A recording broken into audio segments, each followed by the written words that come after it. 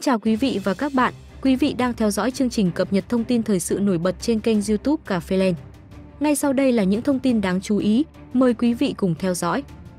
Thủ tướng Phạm Minh Chính và phu nhân bắt đầu thăm chính thức Hàn Quốc. Theo thông tin từ báo Nhân dân, khoảng 14 giờ 30 phút giờ địa phương, Thủ tướng Phạm Minh Chính và phu nhân cùng đoàn đại biểu cấp cao Việt Nam đã tới quận Seongnam, thủ đô Seoul, bắt đầu chuyến thăm chính thức Hàn Quốc theo lời mời của Thủ tướng Đại Hàn Dân Quốc Han Duk-so và phu nhân từ ngày 30 tháng 6 đến ngày mùng 3 tháng 7 ra sân bay đón Thủ tướng Phạm Minh Chính và phu nhân cùng đoàn Việt Nam về phía Hàn Quốc có Bộ trưởng Doanh nghiệp vừa và nhỏ và khởi nghiệp Oh Jong-jo, Đại sứ Hàn Quốc tại Việt Nam Choi Jong-sam, Cục trưởng Lễ tân Bộ Ngoại giao Seo Won-sam, Cục trưởng Cục ASEAN Bộ Ngoại giao Kim Dong-bi. Về phía Việt Nam có Đại sứ Việt Nam tại Hàn Quốc Vũ Hồ, một số cán bộ, nhân viên đại sứ quán và cộng đồng người Việt Nam tại Hàn Quốc. Lễ đón chính thức Thủ tướng Phạm Minh Chính và phu nhân cùng đoàn đại biểu cấp cao Việt Nam diễn ra ngay tại sân bay Seongnam.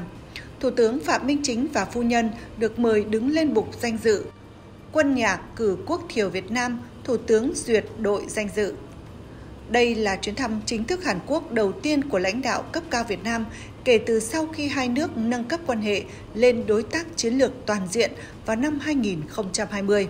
Chuyến thăm diễn ra trong bối cảnh quan hệ Việt Nam-Hàn Quốc đang phát triển tốt đẹp nhất từ trước đến nay. Lòng tin chính trị giữa hai nước ngày càng được củng cố, hợp tác quốc phòng, an ninh tiếp tục đi vào chiều sâu, hợp tác địa phương và giao lưu nhân dân hai nước không ngừng được mở rộng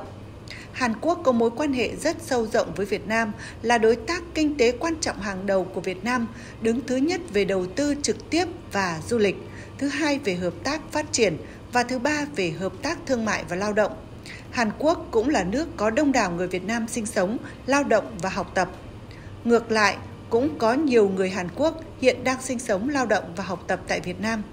Cộng đồng hai nước cơ bản đều hội nhập tốt, có nhiều đóng góp vào việc phát triển kinh tế xã hội của nước sở tại và đóng vai trò cầu nối hữu nghị cho quan hệ hai nước.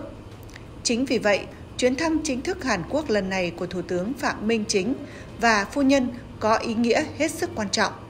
Trong chuyến thăm chính thức Hàn Quốc lần này, Thủ tướng Phạm Minh Chính có hơn 30 hoạt động. Ngoài chương trình chính thức với lãnh đạo cấp cao Hàn Quốc, Thủ tướng Phạm Minh Chính dự và phát biểu tại ba diễn đàn gồm Diễn đàn Doanh nghiệp, Diễn đàn xúc tiến du lịch và hợp tác văn hóa, Diễn đàn lao động Việt Nam Hàn Quốc và hai tọa đàm gồm tọa đàm với lãnh đạo các tổ chức kinh tế Hàn Quốc và tọa đàm với các nhà tri thức khoa học Hàn Quốc về bán dẫn và trí tuệ nhân tạo. Thủ tướng cũng có các cuộc tiếp đại diện lãnh đạo một số tập đoàn kinh tế hàng đầu Hàn Quốc đang đầu tư tại Việt Nam. Ngoài ra, Thủ tướng Phạm Minh Chính thăm đại sứ quán và gặp gỡ đại diện cộng đồng người Việt Nam tại Hàn Quốc, thăm gia đình đa văn hóa Việt Hàn, phát biểu chính sách tại Đại học Quốc gia Seoul và thăm nhà máy sản xuất chất bán dẫn của tập đoàn Samsung tại thành phố Pyeongtaek, tỉnh Gyeonggi. Có thể thấy, hoạt động của Thủ tướng trong chuyến thăm Hàn Quốc lần này rất toàn diện, bao gồm cả các hoạt động với chính giới, với giới kinh tế tài chính và với các tổ chức hữu nghị nhân dân, gặp gỡ cộng đồng người Việt Nam tại Hàn Quốc.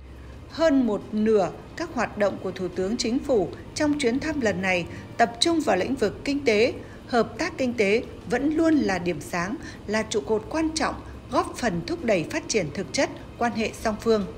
Hàn Quốc tiếp tục duy trì vị trí đứng đầu về đầu tư trực tiếp với tổng vốn đăng ký lũy kế 87 tỷ đô la Mỹ, đối tác lớn trong nhóm đầu về kim ngạch thương mại. Năm 2023 đạt gần 80 tỷ đô la Mỹ và là đối tác lớn về hợp tác phát triển ODA, du lịch và lao động.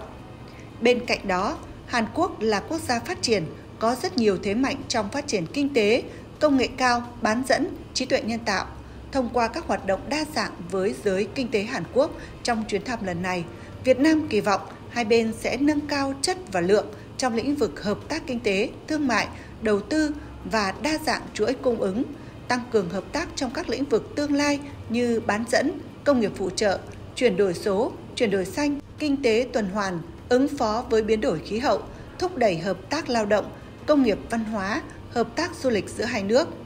Qua đó, hai bên có thể thực hiện mục tiêu sớm nâng kim ngạch thương mại song phương lên 100 tỷ đô la Mỹ và hướng tới mục tiêu 150 tỷ đô la Mỹ vào năm 2030 theo hướng cân bằng, bền vững và góp phần thực hiện tầm nhìn chiến lược về phát triển đất nước với mục tiêu đến năm 2045 trở thành nước phát triển có thu nhập cao của Việt Nam. Trước đó, vào ngày 25 đến ngày 27 tháng 6 năm 2024, Thủ tướng Chính phủ Phạm Minh Chính cũng đã có chuyến công tác dự WEF Đại Liên và làm việc tại Trung Quốc. Kết quả lần thứ ba hội nghị của WEF và cũng là lần thứ ba làm việc tại Trung Quốc trong vòng một năm qua của Thủ tướng Chính phủ cho thấy vị trí của Việt Nam ngày càng cao trên trường quốc tế, đồng thời xác định đột phá khẩu cho quan hệ Việt Nam-Trung Quốc.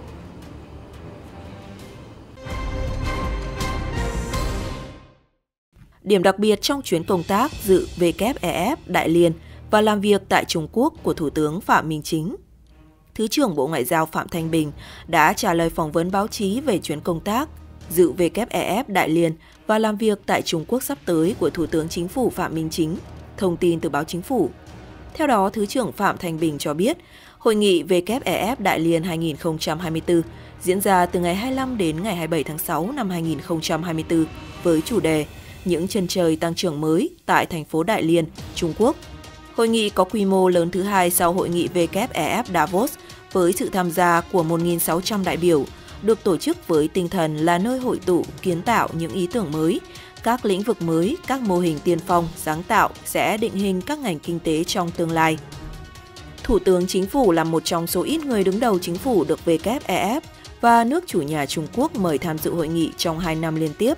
Điều đó thể hiện WEF và Trung Quốc hết sức coi trọng vị thế, vai trò và đóng góp của Việt Nam cho sự tăng trưởng kinh tế toàn cầu cũng như tầm nhìn phát triển của Việt Nam đối với nền kinh tế trong tương lai. Do đó, chuyến công tác của Thủ tướng Chính phủ tham dự hội nghị WEF Đại Liên năm nay có nhiều ý nghĩa quan trọng. Chúng tôi cho rằng có một số điểm như sau. Thứ nhất, hội nghị là dịp để Việt Nam nắm bắt và đóng góp tiếng nói trong những vấn đề, xu thế mới, nội hàm mới, động lực mới cho tăng trưởng kinh tế thế giới, trao đổi về tư duy phát triển, quản trị ở cấp độ quốc gia và toàn cầu. Thứ hai, hội nghị là cơ hội để quảng bá thành tựu tăng trưởng phát triển kinh tế xã hội của nước ta, truyền tải thông điệp mạnh mẽ về Việt Nam năng động, đổi mới, là điểm đến hấp dẫn cho các tập đoàn toàn cầu. Thứ ba, hội nghị cũng là dịp để Việt Nam tăng cường trao đổi, thúc đẩy quan hệ với các nước và đối tác, tổ chức quốc tế, khẳng định vai trò và vị thế của nước ta đối với cộng đồng quốc tế, góp phần triển khai hiệu quả đường lối đối ngoại của Đại hội Đảng lần thứ 13. Cùng với sự tham dự hội nghị trong chuyến công tác lần này, Thủ tướng Chính phủ sẽ có các cuộc hội đàm, hội kiến song phương với các đồng chí lãnh đạo cấp cao của Trung Quốc. Trong bối cảnh hai bên thời gian qua nhất trí làm sâu sắc và nâng tầm quan hệ đối tác hợp tác chiến lược toàn diện Việt Nam Trung Quốc, nhất trí xây dựng cộng đồng chia sẻ tương lai có ý nghĩa chiến lược Việt Nam Trung Quốc.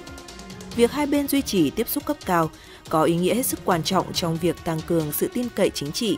cụ thể hóa nhận thức chung và thỏa thuận cấp cao giữa hai bên. Điều này sẽ đóng góp tích cực vào quan hệ đang tiến triển tốt đẹp giữa hai nước. Nêu một số nội dung thông tin về việc đoàn Việt Nam sẽ có những đóng góp tại hội nghị WEF Đại Liên 2024, Thứ trưởng Phạm Thanh Bình nêu, tại hội nghị Thủ tướng Chính phủ dự kiến sẽ có chương trình hoạt động dày đặc, liên tục, cả song phương và đa phương. Đặc biệt năm nay, là đầu tiên Thủ tướng Chính phủ sẽ có một bài phát biểu đặc biệt tại phiên khai mạc toàn thể cùng Thủ tướng Trung Quốc Lý Cường và các nhà lãnh đạo các nước.